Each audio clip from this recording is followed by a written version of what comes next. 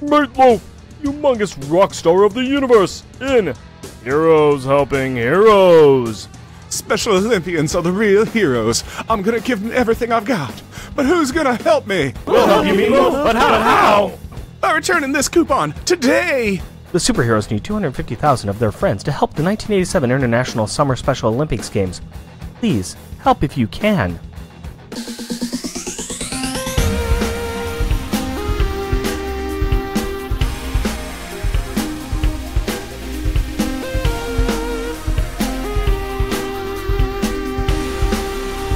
Welcome, dear listener, to our podcast. Jeff and Rick present Unpacking the Power of Power Pack. Where we journey through each issue of the most underrated Marvel series of the 80s while drinking beer.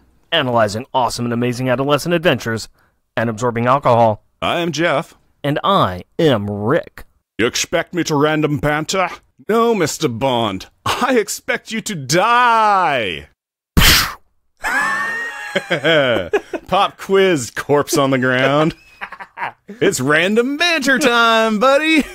How you doing, Rusty Agent? I am the rustiest of agents.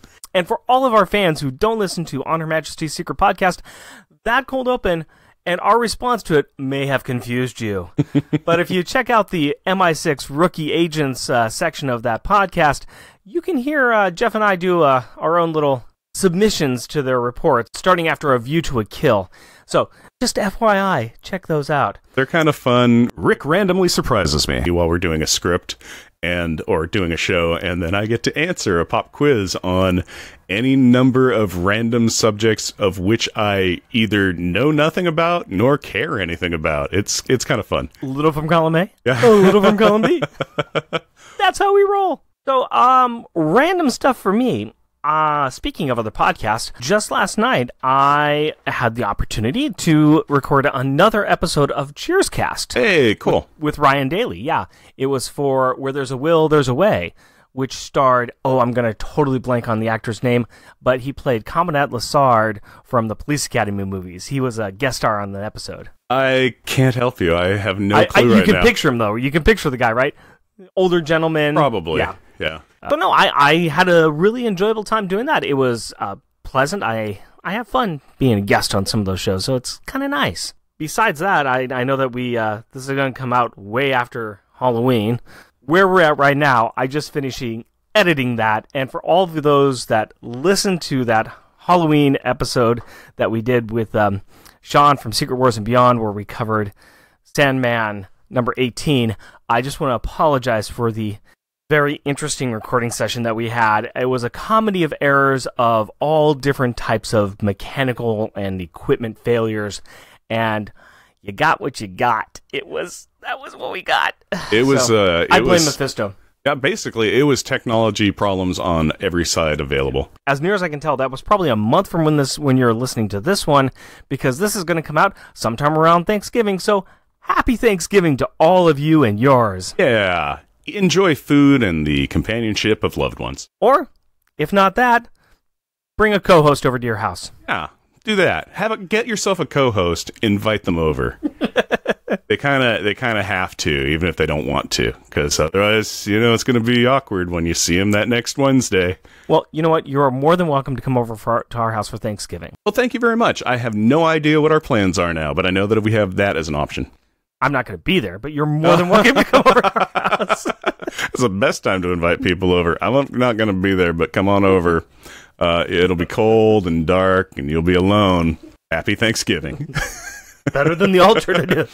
yeah, what being warm and inside and comforted by my own own house. Sounds right to me. I, I think uh, we're going to be over at my parents' house, and I think they have uh, my family has nominated me once again to deep fry the uh, turkey. So You do a good job of it. I enjoy it. We were just talking about that today at uh, class I was at, and the the teacher was like, "Yeah, my husband decided to deep fry a turkey one year, and it just failed." And I'm going, "It's not that hard."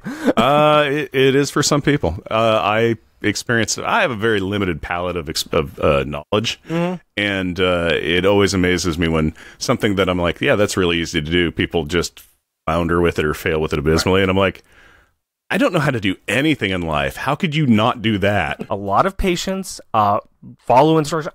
All you need to do is go online and you know go to a reputable source, but follow the instructions online. that's about right. You have to have patience, make sure you've got a nice area, and if you have the opportunity, find somebody who has done it multiple times successfully and have them walk you through the steps. That helps as well. But so, so a reputable source wouldn't be like explodeturkeybucket.com. that would be an extremely reputable source if that was your goal is to explode a turkey. What about you? What is your random banter?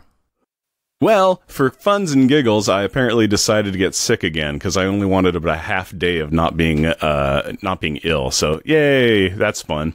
But uh, so that's minor because that's my uh, perpetual state of being. A uh, fun thing was about a week or so ago. My mom calls me and says, "Hey, remember how I said my vision's a little blurry?" And I'm like, "Yeah." She goes, "I can barely see."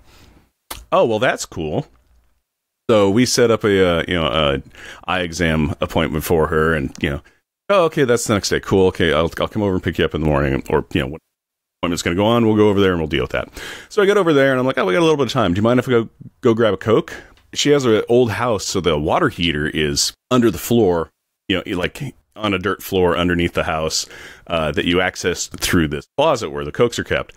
And I and just out of habit, I just kind of stop and I listen and I go, you know, it's really kind of moist and muggy in this closet, and I'm hearing water run. So I'm thinking it's just going to be one of the braided uh, tubes, uh, you know, on the thing because you know sometimes they eroded it. I'm just like, okay, I've dealt with that before. I can fix this. Not a problem. Go to the appointment, go do the stuff, come back. Huh. Well, shine a light in there and go, it's not spraying out of the tubes, but it sure is pouring out of the bottom. Let's find out what that could be. Hopefully it's not something super serious. Oh, maybe it's the, uh, the, the drain valve. Maybe that got loose. Okay, I'll tighten that up. No, that's not doing it. Okay, so that means it's an, you know, internal tank. And it happens, you know, uh, hot water heaters are supposed to last, oh, about 12 years. This one's lasted like 27. okay, so it was due. That's yeah. fine. Uh, so then I spent like, yeah, but I spent like six hours underneath the house in the you know, the end result was I the problem was still there, but I lateralized it. it's just in like a week of trying. You know, she had a a person that she wanted to do it, and to, yeah, I'm like, yeah. I could do this, but I can't. Hired somebody, but trying to get their schedule and all that, and it's like, so that got wrapped up yesterday. So hey, cool, she's got hot water and water again. That's really awesome. And I took her to another eye exam because the eye doctor was like, well, you got some swelling and I think da da da. Go see an ophthalmologist. Go see and it's kind of like, oh, you need cataract surgery. So, Yay! yay! So, how's it feel just to have a life that's never ending? It just never ends. Yeah, never it's ends. just a chore based life of it's being ill and not having the time to do anything about it because it's like, hey, I have to go and help a family member of you know age two to two two plus basically you know beginning to ending I, I don't know what the problem is jeff because the way I see it, you've got plenty of time to do things. Yeah, I had enough time to finish working no, on no, the script no, today. No, no, uh, you have plenty of time to finish things, such as giving us the two cents replay from last episode. Hey, that's two sentences. I might be able to finish that. Power Pack has to wait an hour before they can go swimming after breakfast, so they decide to go and look at the crack house they destroyed the night before, where they stumble across trash coming back from a drug delivery and decide to track them back to their lair.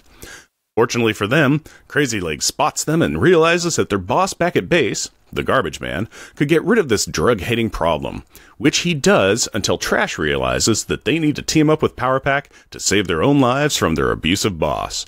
Now that the Jim and Maggie spend their kid free time in this issue wrestling off panel, wink wink, two sentence replay is over, why don't you give me a beer and tell us what our Power Pack pick is? My pleasure, my friend. And I've got great news for you. Afterglow Ale? No. I brought you a barley wine. Ooh, let's see what we think about this because I have I we know have I've had never liked barley wine. Yeah, I'm like yeah, because I don't have any recollection of ever ever having a barley wine that I've enjoyed. But but that's let's the show. try Gigantic's Massive. Massive. That's a cool looking pinata demon bull horse with fang teeth. What the heck is that? That is just crazy looking. Well, can you guess why I chose this one? Uh, massive. Is it because Julie gets massive yep. in this one? yes. Yeah. That is not too dissimilar from the uh, beast that they try to create out of uh, the Oh, it's got two Costume. tongues too. Wow, this is just crazy all over the place. It's got like a red skull mask on a pinata bullhead that's got fangs, and that is just crazy all over the place. And it looks like it's mount- mounted on a wall. That's yeah, that's a good looking bottle. But Yeah. yeah, it's a bourbon barrel aged massive 2008 barley wine. And this is a 14.3% ABV with a 65 IBU. That is a deep ruby. Now, I want to point out that according to this, it says that we um, the suggested glassware is a snifter, but we're just going to go with pint glasses.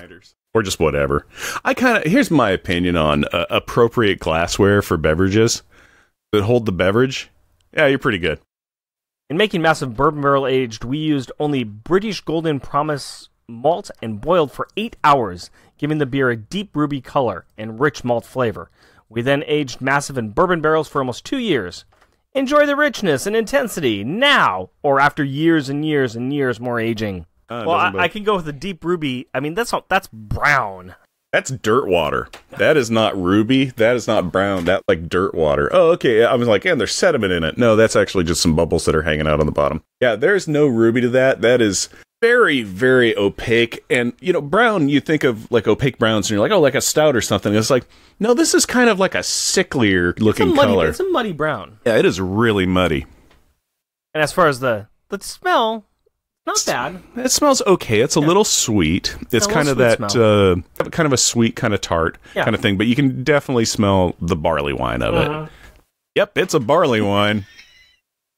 Sure, taste that barley. Actually, I'm surely tasting that bourbon barrel. Yeah, it does have the bourbon barrel flavor. to it. Um, it does definitely has a rich barley taste.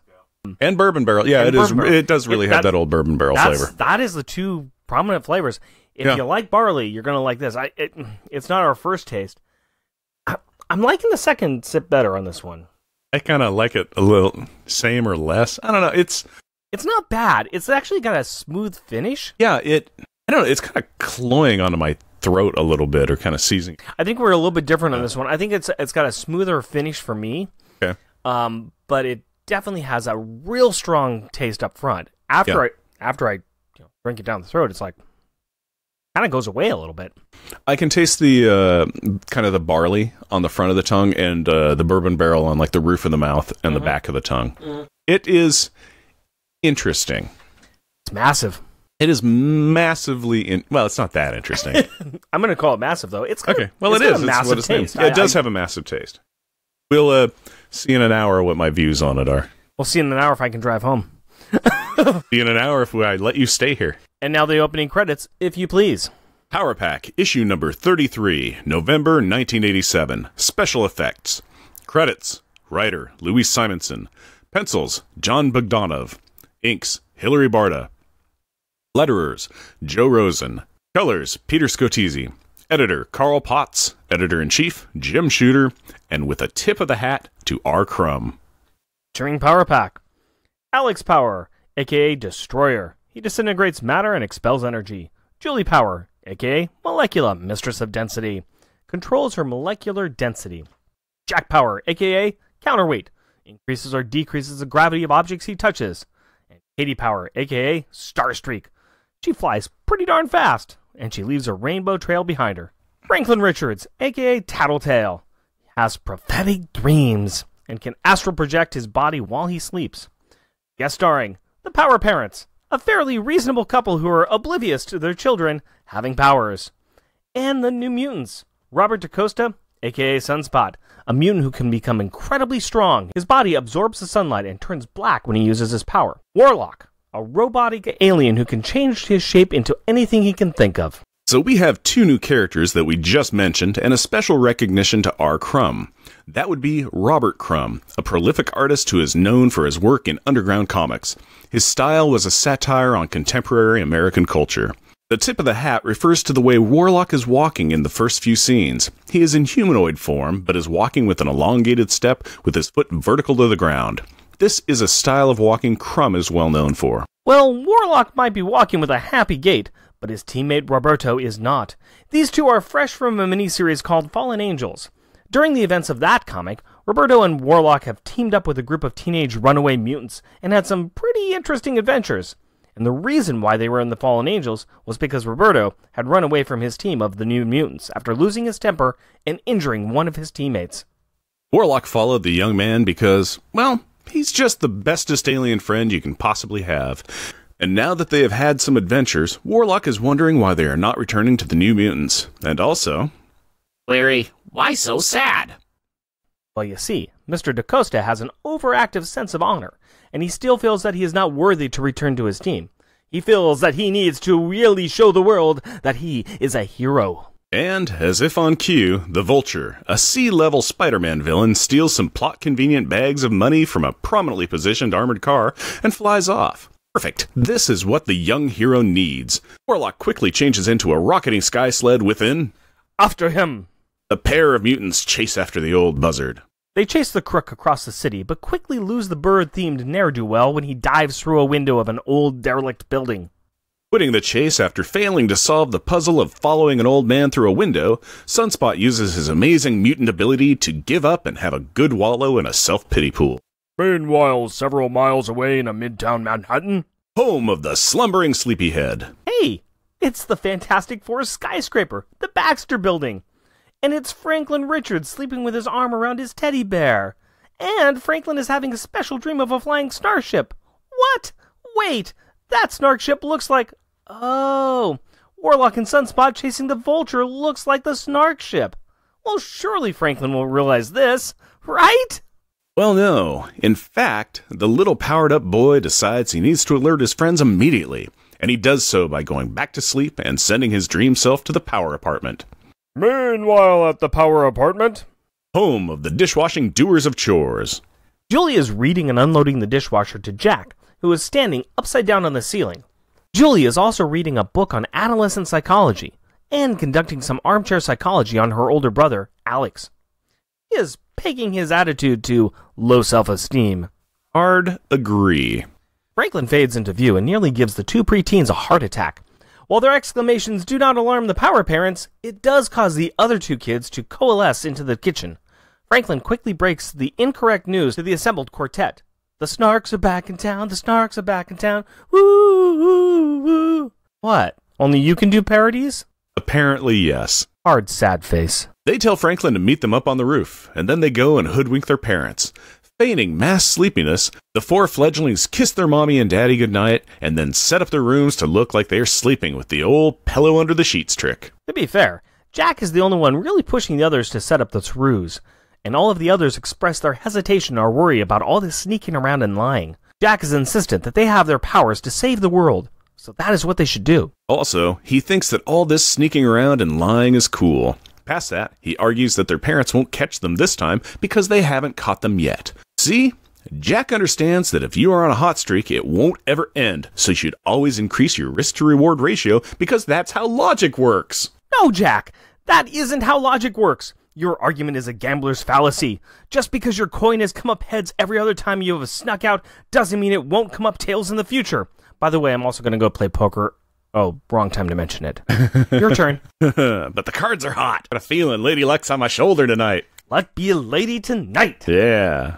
Well, fallacy or not, this argument follows them out of their bedroom window and up onto the roof. They meet up with Dream Frank. Alex powers up on the now empty barrels of roofing compound from about 10 issues ago, and they head off into the now darkening yonder.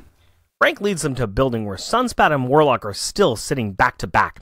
And of course, their shadowy outline looks just like a snark. Why does it look like this, you might ask? Well, because when heroes meet for the first time, there has to be some misunderstanding where they get into a punch up until they sort out their mutual confusion. You know, standard operating procedure. Guess what? They haven't met before, so this fight needs to happen. And happen it does.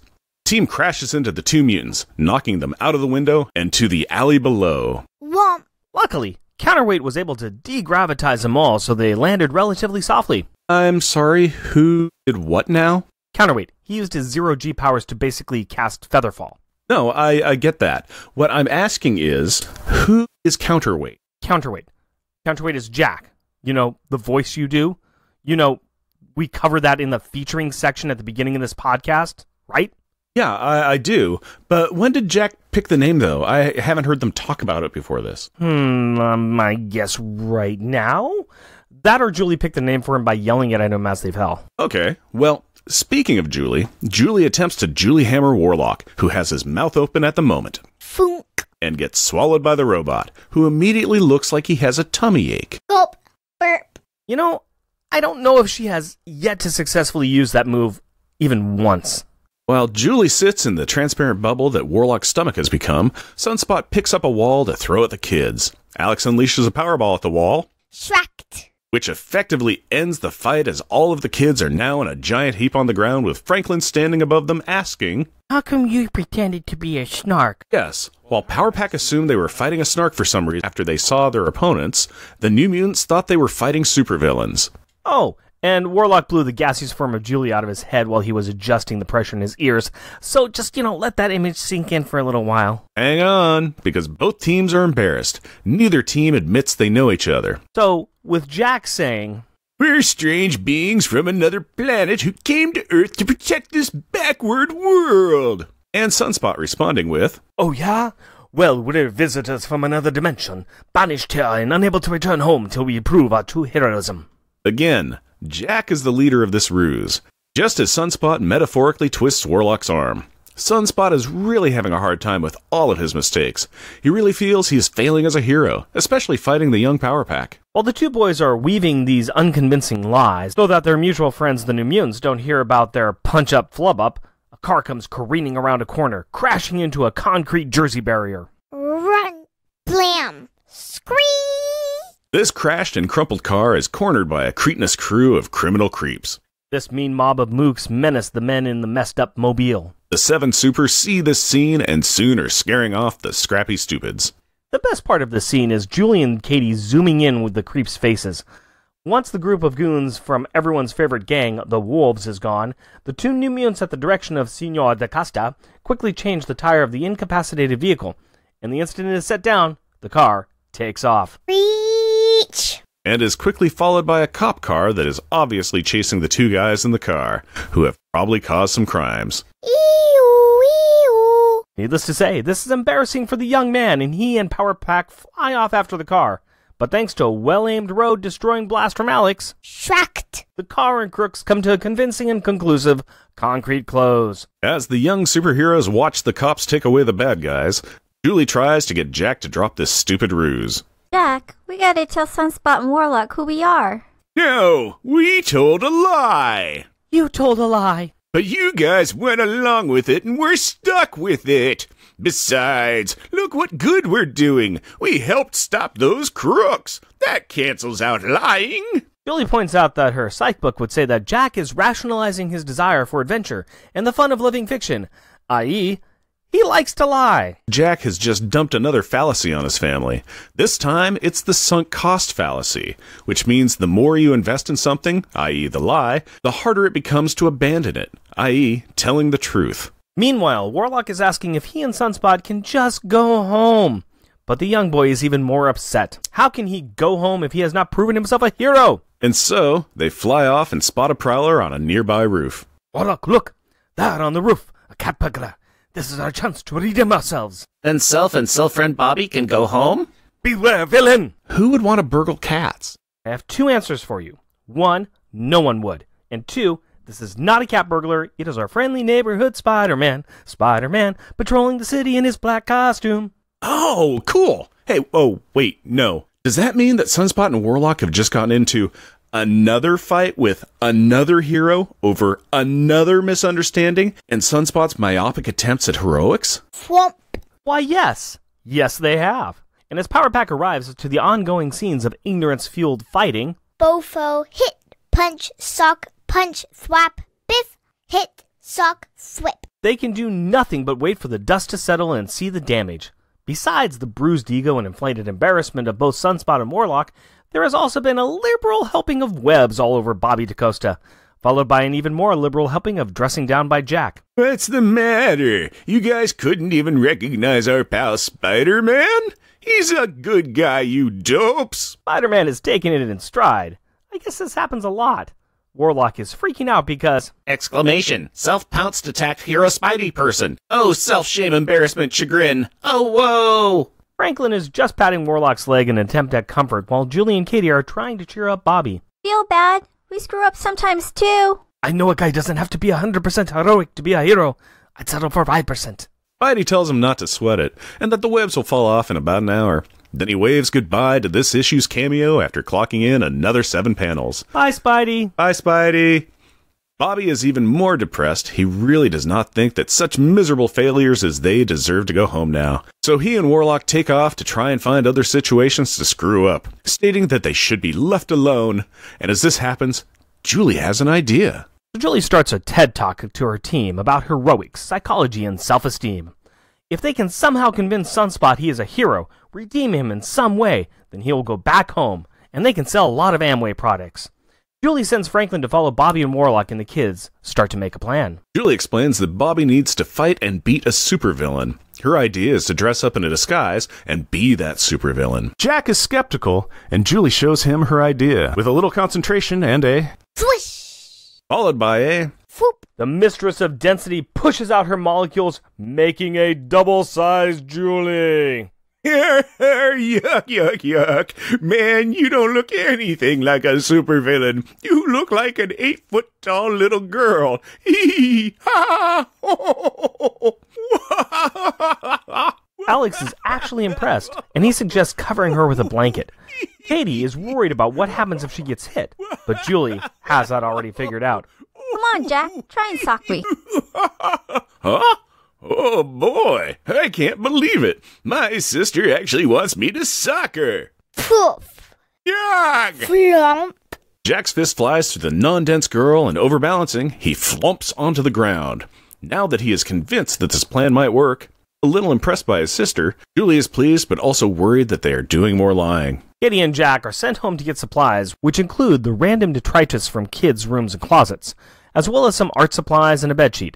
Let me tell you, for those that do not have kids, you can raid a kid's room and probably assemble an 18 level flame-throwing tank or MacGyver's supercomputer with the stuff that kids can collect. They join back up with the older siblings and begin to dress Julie up using all of their stuff. It's actually pretty neat seeing them all work together to create a frightening, tall, green haired, one eyed, horned monster. They are all very impressed with their work, and as Franklin fades in, Katie suggests that they try it out on him. Blurg, woofle, woofle, hoot. Hi, Julie. You look tall. Frank! Now that their clever ruse is set, they have to bring in their mark. Katie and Franklin fly over to find Roberto and Warlock, and boy, do they ham up this performance, begging them to help them fight this giant monster. Robert is so desperate, and this melodrama is so up his alley, that they fly right over. Alex and Jack push Julie into view, and she starts making a mess of noises and promises of destruction. Destroy! Destroy! I'm gonna destroy the city! While Sunspot is ready to start laying the smacketh downeth, Warlock is not so sure and tries to warn friend Bobby Sunspot that this monster isn't what he expected, but Bobby being Bobby does what Bobby does and not listen. Sunspot launches a mighty first punch Poof! and ends up in the dirt just like Jack did earlier. But that only gets up his anger, and after he picks himself off the ground, he is ready for round two, where he unloads all of his heroic aggression on the white bodied monster. Sock, pow, bop, big wham. Over Sock, pow, bop, big wham. and over Sock, pow, bop, big wham. and over Sock, pow, bop, big wham. again. Once more, Warlock tries to stop Sunspot, thinking that something is odd. But Sunspot, once more, does not listen. He has heedless heroing to do. Meanwhile, Julia is starting to get dizzy from getting the cloud stuffing knocked out of her over and over again, but she is not ready to end this yet. After that break, round three starts. Punch, path, And through whoop. all of this, Warlock biff, keeps trying to tell Bobby bop, that this is not chop, actually a punch, monster, but path, their friend suck, Julie. whoop. But Sunspot, Biff, guess what, is pow, still not bop, listening. And chop, finishes it all off by path, throwing a brick suck, staircase whoop. that Warlock is Biff, standing on pow, into bop, said Julie monster. Zam, bam. Julie! Power Pack runs out to the empty street, crying for their lost sister and teammate. Just like Obi-Wan, she has been struck down and has disappeared. This, this is the last of Julie Power. She gone, gone, gone. And behind the sobbing children, Bobby comes to a realization that he has killed a little girl. The kids are lamenting on this being the inevitable outcome for their hubris and pride. It was all a joke, but it was all for nothing. And so they learn the terrible price for all of their lies. Though violent was this death that they can already see the ghost of their sister forming. Actually, wait a, wait a minute. She's looking pretty solid right now. Look, my timing was off, that's all. I barely made it, but look, close to cloud away. Julie, you're here. You're alive! You're okay.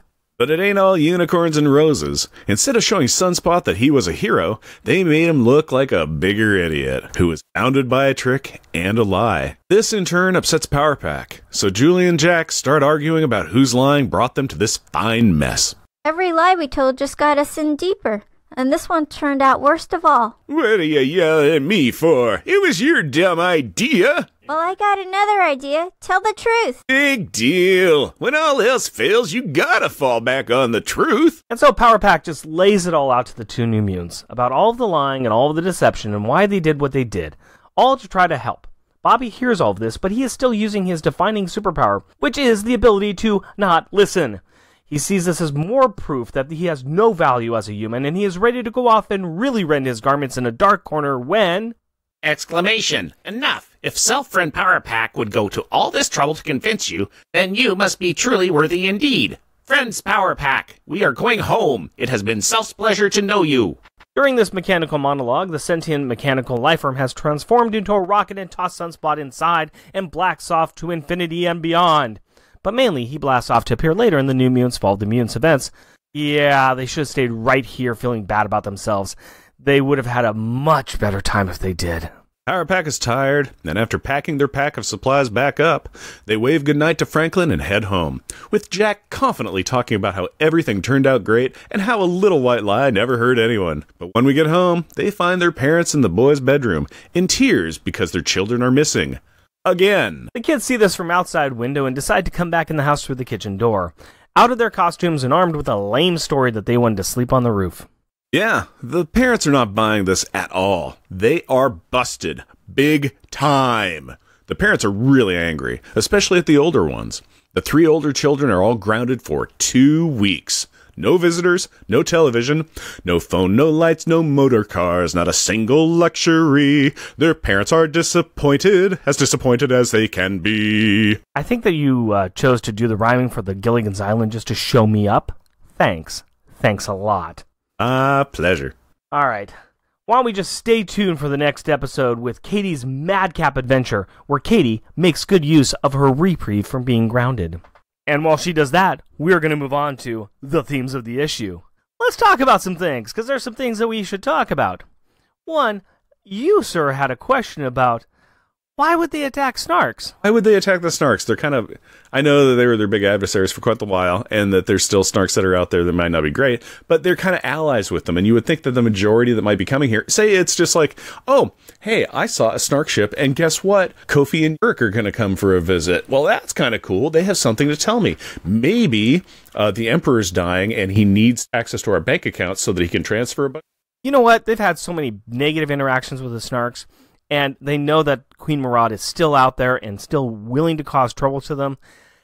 The Snarks really aren't allowed on the planet. If they're going to have anybody on the planet, it's going to be Kofi or Yurik or somebody like that. It's not going to be the Snarks. I think their shoot first, ask questions later attitude is completely understandable. Our the last Snarks that came to the planet that weren't bringing them back, um, attacked them, Jakal, and kidnapped them. You know, the people that came to get Jakal after they kicked Jakal's tail all over the place. Yeah, they kicked his tail in the dirt. yeah, uh, in the snow. Let's In the snow. So yeah, I would say that they've got very good reason what's going on. I could see that, but it would be fun. I think it would be funny if it was just like a Snark scout ship that was sent because like something had happened. But then even the power pack then would still be like, yeah, this is a kidnapping. attempt." I go with their reasoning for wanting to do that. I can totally see that. That it- yeah, that no attacking them makes sense. I think it was also well, why did they do this in the story? Uh, because plot drove it. Because Yeah. the story said to do that. So it, it, it makes sense. It was just along the lines where I'm like. But the last interaction, the very last, which I'm going to say is the important one, is now Snarks are friends and we are heroes. Uh, certain snarks. Yeah, certain Snarks. And- But I would say I'd still say the majority. I mean, it's just one clan. Another thing I think we should talk about uh, for those people who are not steeped in comic book lore from the 80s, like I am, and you are a little bit, the Fallen Angel series that we discussed at the very beginning of this issue, that was a miniseries that I had I, I have a very deep fondness for. It's an eight issue miniseries that came out about the same time as this issue, and actually it came out just a little bit before. But it started off with Robert DaCosta and Warlock running away from the New Mutants because they got in a fight. Yeah, he got an argument with Cannonball, and he hit Cannonball using his power, and it looked like he injured him very badly. So Sunspot ran off, and Warlock followed him to make sure he was okay, and he ran into a group of kids who were all mutants and who were stealing things. And on this team was a mutant called Ariel, who was actually kind of an alien from another planet, and she had a trick that she could actually open doors and use it to teleport to different places, even different worlds. Sure. She also had the ability, uh, mutant ability, where she could actually uh, talk people into doing things that they didn't really want to do. There was another girl whose name was Random, and she was developing a mutant power where she had kind of a chance power. Either she could increase or decrease luck.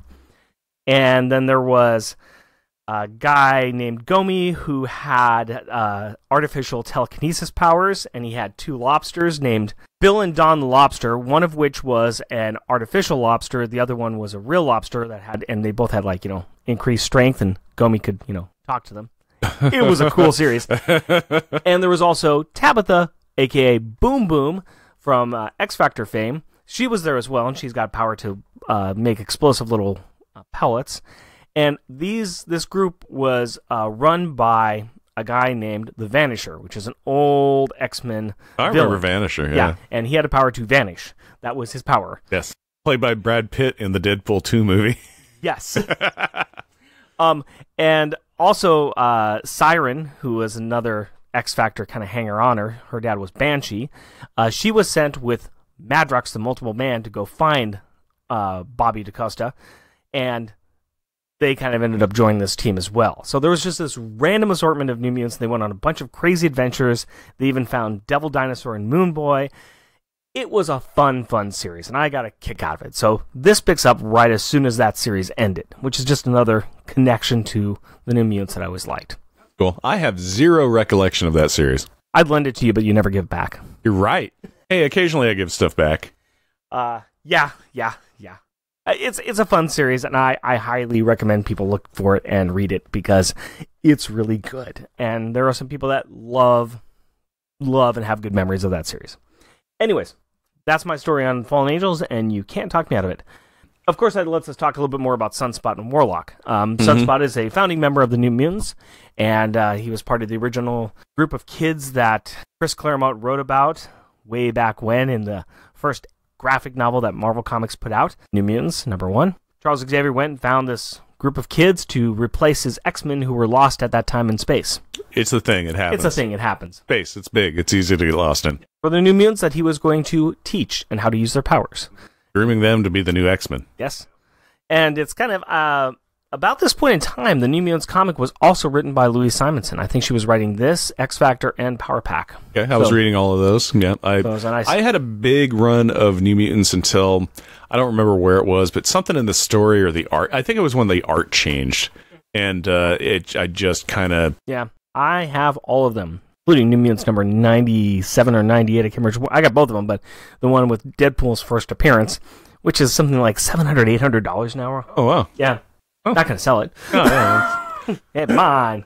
no, there's a lot of things like that that are like, oh, this is worth this now, and I'm like, that's great, I own that. Oh, you have that thing? That's really expensive. It's a thing in a box. I'm not getting. Well, I know um, Robert DaCosta, he is still bouncing around. His father was very rich. Um, Yeah, and uh, criminal, I think Crim- in yeah, Criminal. uh, Well, when he died- Rio de Janeiro, if I remember right. yeah, that's correct. That's correct. Um, when when his dad died, he got his money, and Yeah, inherited a company, and Yeah. I think I think recently, within the last five years or something, seven years, ten years, Yeah. it- there was an arc where he was like the CEO of the company. he was the CEO of AIM. oh oh Yeah, and he was actually running a, a section of the Avengers, and it's a good run. Oh, it's that's actually really good run. interesting. Yeah, Uh, he had uh, Cannonball there helping him out as his number two, and just very intelligent, kind of like you know he knows how to do the power plays and and, and move people around. So yeah, I recall that he was uh, good in a corporate setting. yeah, so it, it, Maybe not the best hero, but good in a corporate setting. they've done some cool things with him. Okay. Uh, Warlock died ish at one point. Well, so And- did his buddy Cipher, and he kind of reanimated at one Yeah. point. It was kind of a creepy time. yeah, th th- and that's more or less what it's like now, uh, because Doug Ramsey and current X Men lore, uh, Doug Ramsey is alive, but it's Doug Ramsey's uh, Warlock combination. But it's mostly Oh, Doug Doug Ramsey. Lock. It's mostly Doug Lock, but it's it's mostly Doug Ramsey, and this is just really really deep comic book lore. But yeah, uh, so Warlock, the robot is pretty much he, yeah he's gone. Okay. Although there was there was a New Mutants book that just came out, a legacy book that Chris Claremont and Bill Sienkiewicz did, and it's really good. It's kind of a throwback to the time when he was doing the art for New Mutants, and it's it's a really good book. I picked it up. Just Okay. came out a few months like last month. What are your thoughts on Warlock? I like Warlock. I I do. I've I've always been a fan of him. Um, I liked him. Saw him when I was a kid. I enjoyed the character. I think I enjoyed him the best when he was interacting with Cipher, because I think that was a good combination Yeah. with with you know Cipher not having offensive powers and Warlock being there to be kind of his shield and being his good close friend. I always like Cipher, but yeah. I, I was a big Cipher Doug Ramsey fan too. Okay. Um, but I, I've always liked Warlock. I've always I, I've never had a problem with him as a character. I know that some people did, but I liked it as a I kind of liked it as a stand-in for stand-in for me, the reader, Okay. because he was alien, always trying to figure out how the world worked. And it was kind of like for me, the reader, going in and saying, "Well, how do these people work?" And how does you know how does this world of Marvel Comics and 616 work? And his interactions always kind of made me feel that I wasn't alone, just trying to figure out what's happening. So I, I don't know. I've I've always kind of liked the character. I've always kind of had a pendulum swing on Warlock, where it's just like, oh, I like Warlock, then I'm like, ah, I don't like Warlock, and and it just kind of goes back and forth. And even in this issue, as soon as I you know uh, crack it open uh, and I and I see him very first page, I'm like, eh, Warlock. But by the end, I'm like, yeah, Warlock. Yeah. So uh, I I don't know what I think about him. I, I do like him. I do like him as Doug Lock. I do like him hanging out with Cipher. I think that's really cool. I think one of the problems I got tired of was that oh now it's Warlock's dad and it's the whole technical thing. Yeah, it, it can get a little deep with some of the, the some of that extra stuff, but Yeah.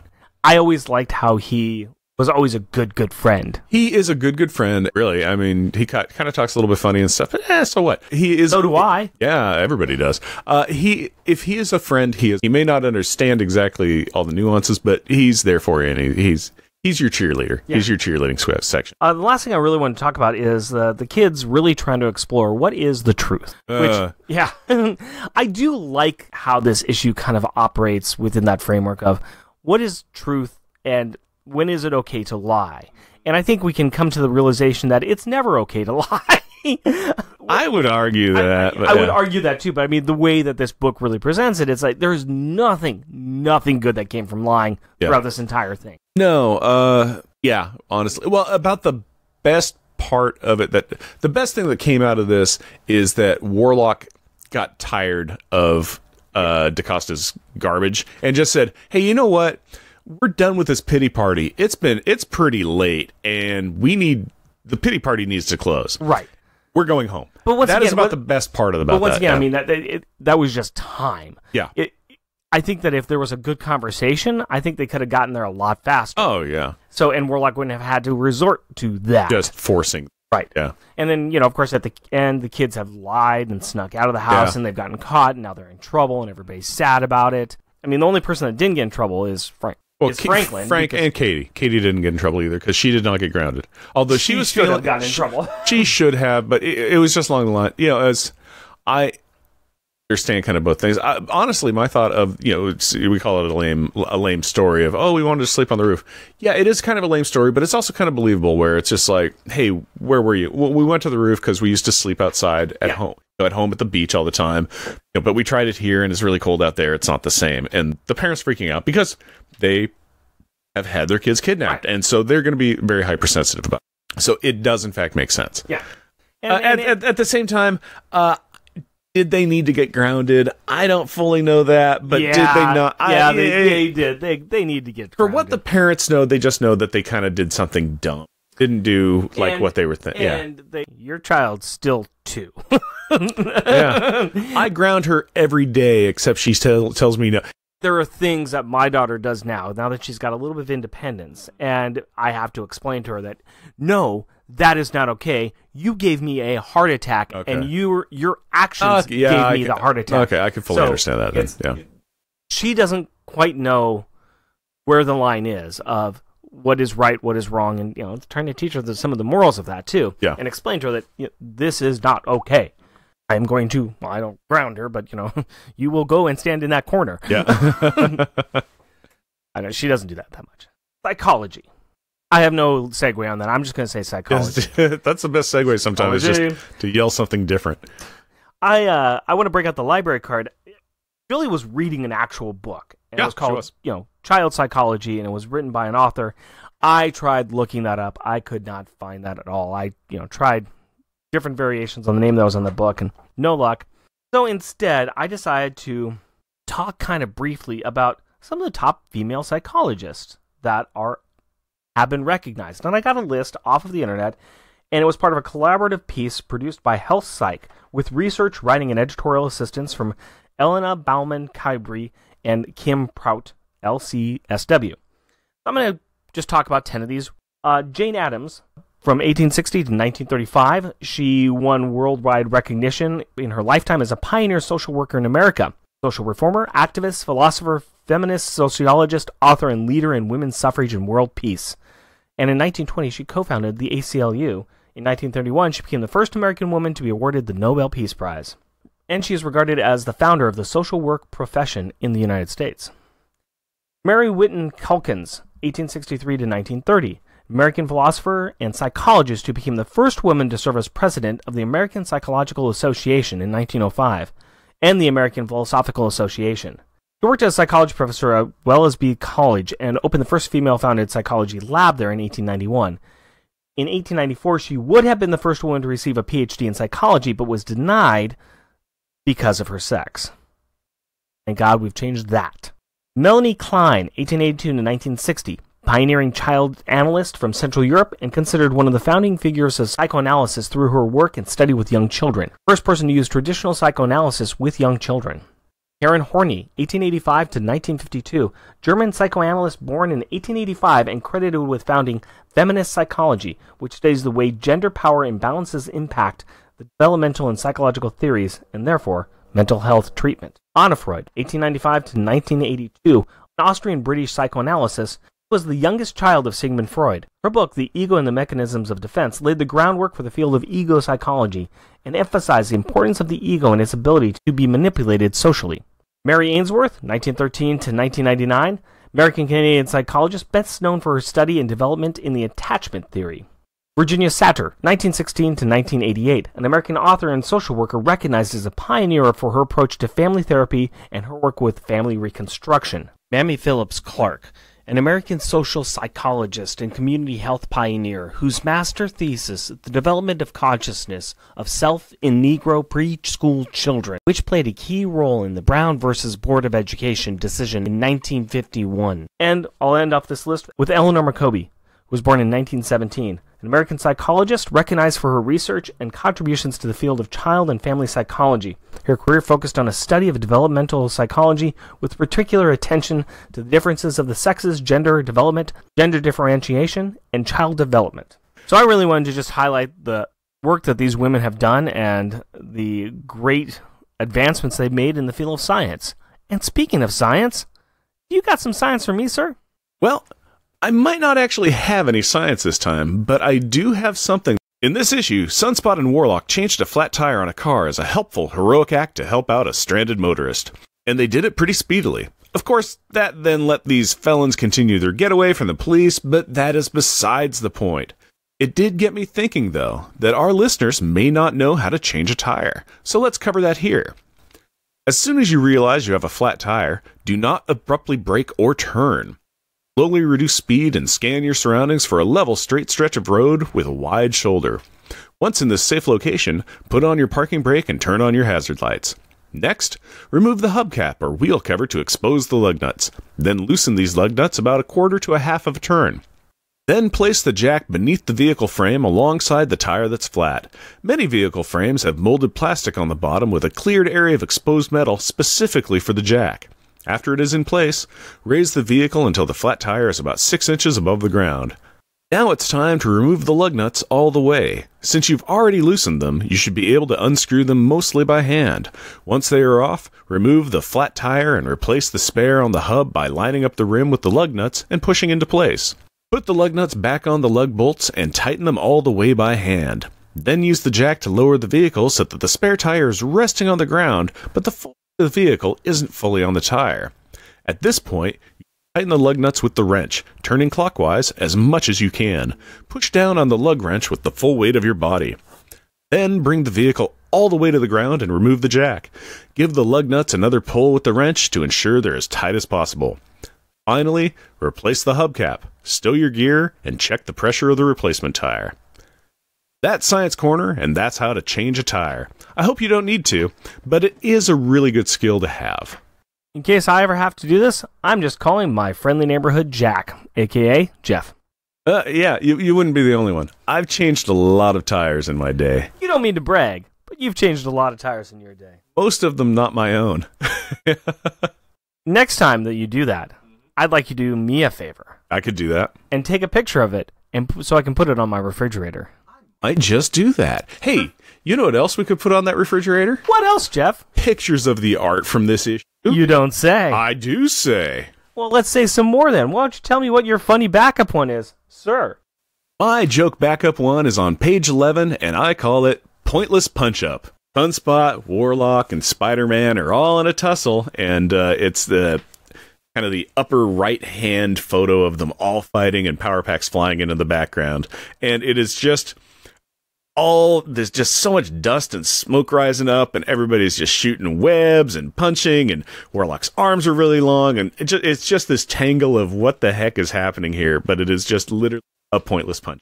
Yes. Yep. Yep. Yep. Yep. I agree. Yeah, what's your uh, joke backup? My joke backup is a couple pages before that, and it's on the top corner of the page, and I call it the Intimidators, and it is Warlock and Sunspot doing their best heroic poses as they're intimidating in front of the these group of the wolves, you know, bad guys. yeah, the gang members gang that are members. hassling this car that just wrecked. and it's just Warlock's face is funny because he's just got this comical like type of look on his face, and and Sunspot's looking all buff and like you will stay back, villains. Yeah, he's got a his right hand, the fingers pointing up, you know, his pointing fingers pointing up at the sky, and his left hand's outstretched, you know, in a big old open palm. Hold, you know, stay back, villains! Listen to the words I say, for I shall exclaim. Yeah, it's it's It's a good one. It's a good one. I like that quite a little bit. What do you have for your top funny one? My top funny one is on page 17, and I call it Reluctant Monster. And it is on the uh, middle left hand side of the page, and it is when uh, Katie and Frank are guiding Warlock and Sunspot back to, you know, the ambush point where the super monster is going to get them. And it shows a. And it shows Alex kind of on lookout, and uh, Jack is just grinning the biggest grin he can possibly have as he's pushing the Julie monster out of the alleyway to, uh, you know, engage in the superhero fight that she's going to do. Really reluctant to do it. I like Yeah, it because she's just leaning back. Well, I, I, I don't think she can really see out of her costume very Right. well anyway. So I'm going to go back to page 12, right after the the uh, Spider-Man fight, and this has got Spider-Man with his hand on the back of Bobby's back, saying, "There, there, son. It happens a lot.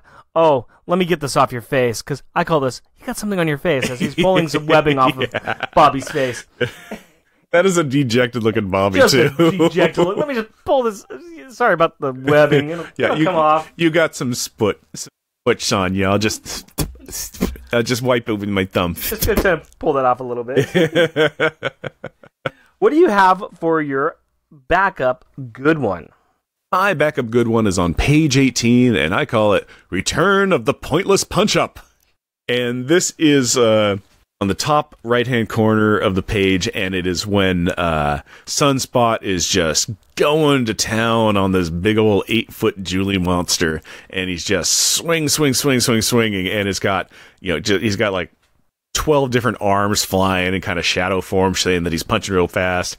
And, uh, you know, the Julie monster's really reeling back, kind of, you know, getting turned to. Getting turned to clouds, and just the background of it, it just the sound effects, which is sock pop biff bop, bop, bop, bop, bop, just repetitively sock pow bop biff wah. Yeah. and it's just like this just shows oh he's gonna be a hero he's gonna defeat this monster he's gonna go go go go and uh, it's just it's it's just great I just really like the way that looks. I'm going to go the next page for mine. Yeah. And this is. I'm going to kind of cheat a little bit. It's the entire top level there. Yeah, I could see that. because it's the the culmination of that fight where he's continued the punching, but we've got one, two, three, four, five, six, seven, eight panels all in that top area, and it's him just beating up. You see, it's like his face, you see Julie's or the monster's face, you see Warlock's face, you see his arm. It's just these constant series of like different hits and punches that are occurring, and just that the Julie monsters take. Yeah. Yeah, I love the fact too. He's he's like, oh, when I punch it, it feels like I'm punching air. I, and it's like Warlock's out. Do you see the? Do you see her? Do you see the feet? and it's like I see his fancy footwork. Yeah, it's just it's just like oh he's so fast on his feet. Oh this dodgy monster. I'm gonna get it eventually. Yeah. What about the top one? What do you got? And I, I'd be surprised if we don't have the same top one. Well, I would be surprised if we have the same uh, top picture. Mine is on page three, and I call it Sunspot's Sunset Pursuit. I can see this. I can see this. That's a nice one.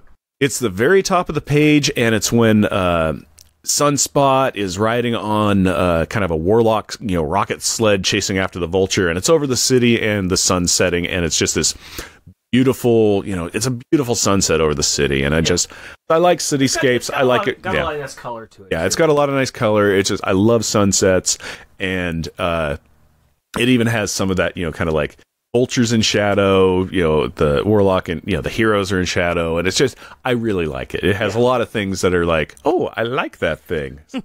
That's my top one. I can see that. I can see that. Well, my top one was on page seven, and I call this one just a normal weekday night.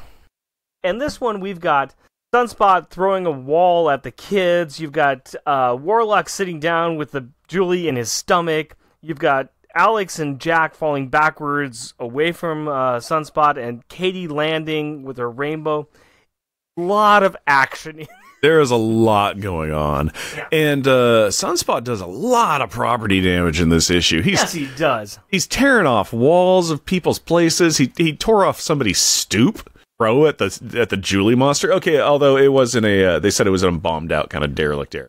Right. He's he's not really doing good. He has he has done zero good. The best thing he did was chase the vulture. Right. There was no outcome of Nope. that other than that he chased the vulture. Yeah. That's the best thing he did in this entire issue. You know, he's just doing what X Men do. They come and they destroy things. That's that's it's their mo. It's what they're good at.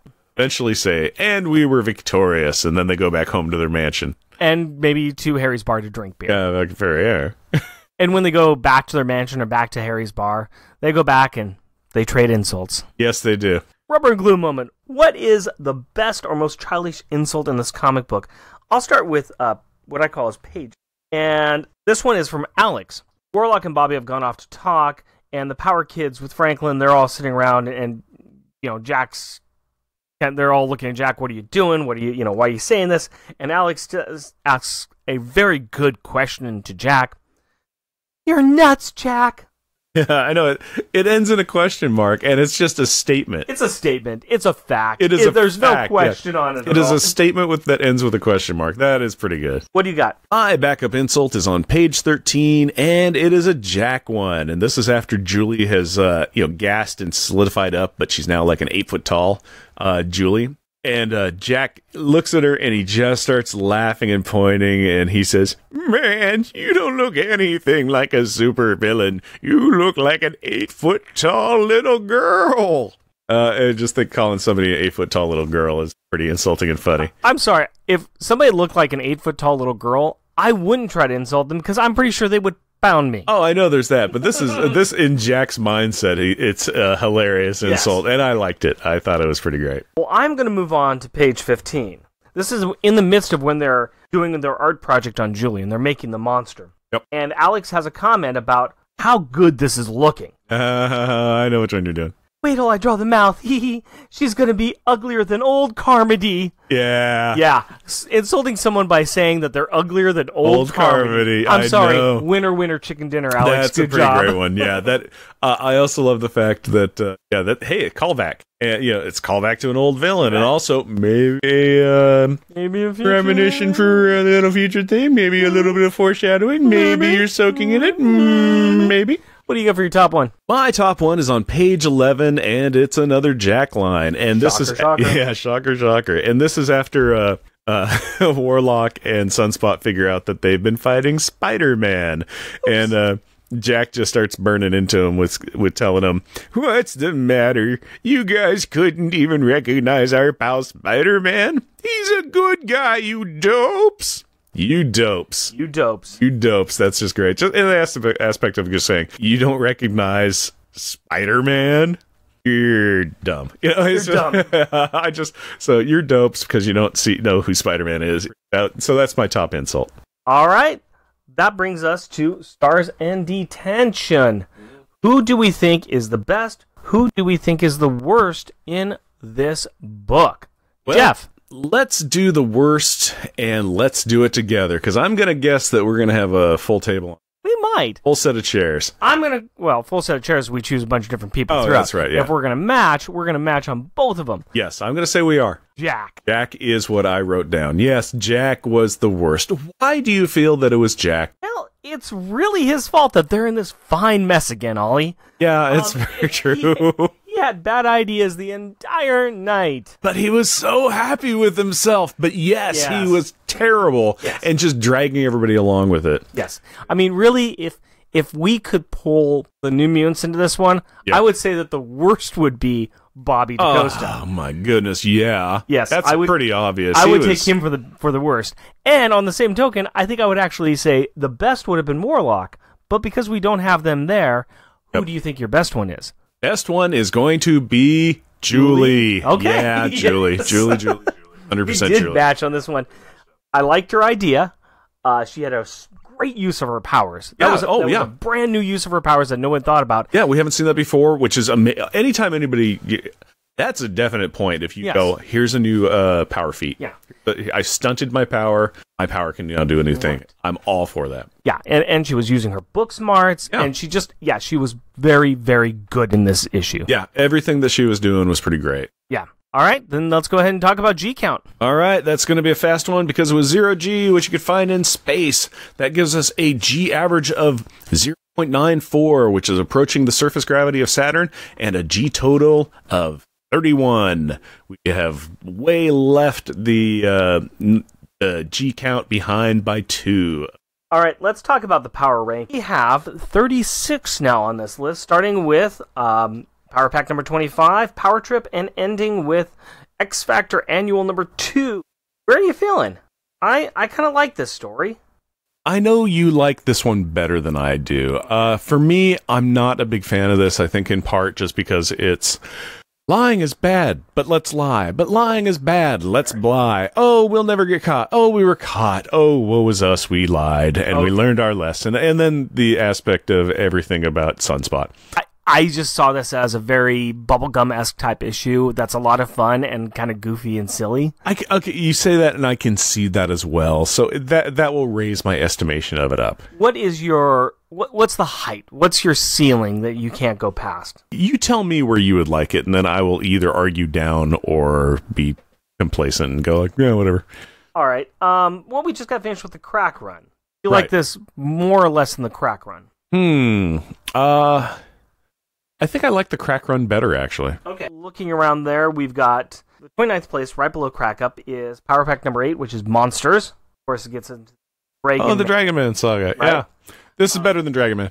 This is better than Dragon Man. Yeah. Okay, well then we're gonna put it right there. Then we'll put it right at number twenty nine, uh, between Crack Up issue number thirty and Monsters issue number eight. Okay, you good with that? I'm fine with that. That's right. good for me. All right, excellent. It's been placed. It's been placed. It is set in stone for all time, and when the future King of England comes, he can pull this one out of a stone and say, "That seems like narratively impossible. This was just words." With that, uh, we need to talk about our beer. Yes. What you thinking? Huh. All drink. Game we can play at home. Get your beer and let us know what you think. Um, not bad. It's definitely not something I'm probably going to have again.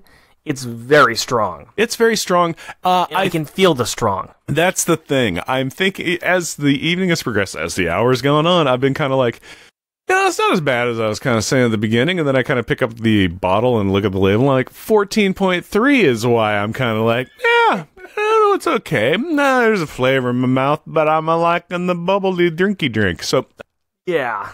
again, yeah, it's. I have had plenty of worse beverages. Yeah.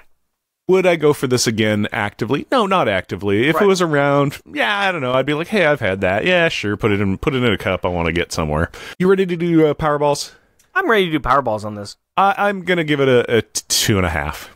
I think I'm going to. I think I might actually follow you on that. I'm I'm I'm heaving between the three and the two and a half, but Mhm. I, I think that if I'm going to drink something that's going to be this strong, I want to enjoy it a bit more. Yeah, I the thing I enjoy about this, I think, is the 14.3, and i i- it's not really the flavor. It's not. Right. It's not that barley. It's not that wine. It's not the bourbon barrel flavor. It, it none of that really is like, oh, I love all of these. No, it's it's very much just kind of like I can tolerate this, and yeah, I like fuzzy, you know, kind of a thing.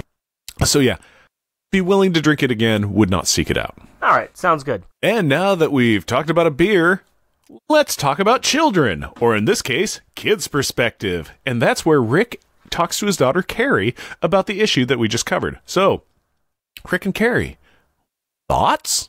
Hi, Carrie. Hi. How are you today? Awesome. And you? I'm doing really good. Um, thank you for reading that book. What did you think of it? It was nice. What do you mean nice? I mean, it was nice lying story. Nice lying story. Okay, tell me what you mean about that. Backlied. Everybody's just lying in this book Why were they lying? Because it would keep them their secret identities more secret, I suppose. Yeah, that's some of the reasons. Was there any good reasons for them to be lying? Probably not. Except for when they were trying to get themselves out of trouble. Yeah, I guess so. But you, they shouldn't have snuck out, right? Yeah. What did you think about Warlock? Um, I like him. I I don't know if he's a bad guy or not. He's not a bad guy. He's a good guy. Okay. So they're just ba- they're just good guys trying to be good guys. They they're good guys. Roberto thinks that he's a bad guy because he did something wrong once, and so he thinks that he needs to try to be very heroic. And Morlock's just trying to be a good friend to him. But what do you think about Warlock, though? Do you think he's kind of silly, or do you think he's fun? Yeah, he's fun. He's fun, Mhm. even though you thought he was a villain. What was your favorite part in the book? I think I liked the part when Julie grows. Oh, when she When she grows and then she says, "Come on, Jack, try and sock me." that is pretty good, isn't it? Mhm. What about the cover? What do you think of the cover? It represents what happens. Yeah. Spider-Man's not completely in there, but sort of in there. Just a little bit. Yeah. Guess he's enough to make the cover, Yes. like Beta Ray Bill. So you like the book overall, though? Yeah. Kind of fun, kind of silly, Mhm. kind of nice seeing uh, them use their powers in a different way. Yeah. What about the end of the book when they got in trouble? You know what I've always wondered about? Why What? Kate? Why is Kitty? Okay, well I probably know why Kitty's crying now, because the older kids got in trouble, I suppose. And the parents yelled at all of them, didn't they? Yeah, Yeah. but Katie's the only one actually crying. Julie looks like she's gonna cry, but she's not. So they they got in some trouble, right? Do you think they deserve to be in trouble? Probably that scared their parents. Right. Um, yeah. So if you sneak out and we catch you, you're in big trouble. Okay. Anything else you want to talk about? Um, no. Okay. Thank you very much, Carrie. You're welcome. I love you. Love you too. I want to talk about some shouting out time. It's time to recognize those listeners that take the time to write in or leave us a review. And this is for episode 41 issue number 31, Crackdown, with our guest, Al Sedano. Speaking of Al Sedano, he liked it. Al Sedano and the Warlock Thanos podcast. CH0. Charles Gears, Chris at BTO Bat Books. Comics in the Golden Age. Cullen Stapleton and the worst comic podcast ever. Dan Grote, Dave Shevlin. Fan Film Fridays podcast. Gene Hendricks. Jerome, Gibson. He had never noticed the drawn on stash that was on uh, Jack what, for his Frenchman costume, and he found it amazing. As did we. Green Lantern HG, Into the Weird. Jeff Polier, Jeremy Daw. Jeremy Wiggins, Kevin Baker. Kyle Sinelli, Mal, who thinks that Power Pack stuff should show up in more Marvel lore and trash should get their own miniseries. Max Trevor, Mr. Rogers Core. NZ Waffles, who thought it was a great episode. Thank you. Pat, DJ Christatos Sampson, and the Long Box Crusade. Rad Adventures, Sailor Bear Zodar. Sean in the Secret Wars and Beyond podcast, Source Material Comics Podcast. Stephen Gray, Thor Edison. and our buddy Tim Price, who is always commenting on our webpage. You should too. Join us. Yeah, come on over. It's lonely there, and we'd like the company. Be sure to check out the other shows that I am on Rick Meets the Legion, which you can find at Comic Reflections, and stuff that Jeff and I both are on, which is our junior agent submissions on the MI6 Rookie Agent episodes of On Her Majesty's Secret Podcast.